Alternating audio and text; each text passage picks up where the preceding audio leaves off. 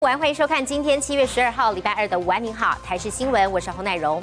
头条讯息带你来看到是高雄一名骑士遇到了对向机车，没有打方向灯，违规跨越双黄线左转，差一点就发生车祸。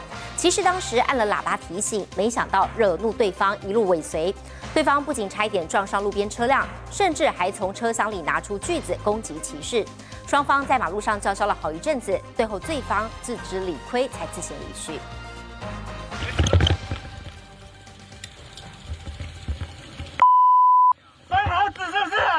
眼看对方手拿锯子，怒气冲冲走过来，骑士见状眼明手快，一个反击，立刻把人推出去。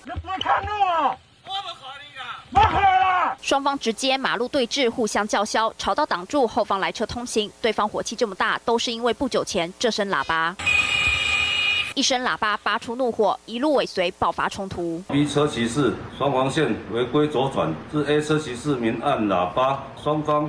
发生口角纠纷。原来高雄一名骑士经过小港水秀路，对向机车没打方向灯，违规跨双黄线左转，险些发生车祸。骑士按喇叭提醒，没想到惹怒对方，一路尾随。停等红灯时，对方还差点撞上路旁车辆，甚至更从车厢拿出锯子朝骑士攻击不成，马路开枪。警方尚未接获报案，相关的重要违规，民众尚可检举，警方会查证予以告发。虽然最后对方自知理亏，自行离去，不过根据道交条例，违规跨双黄线左转，其实依法可开罚最高一千两百元；持锯子攻击，其实也可提高妨害自由。一声喇叭引爆冲突，幸好冲突没有扩大，波及无辜。记者高雄综合报道。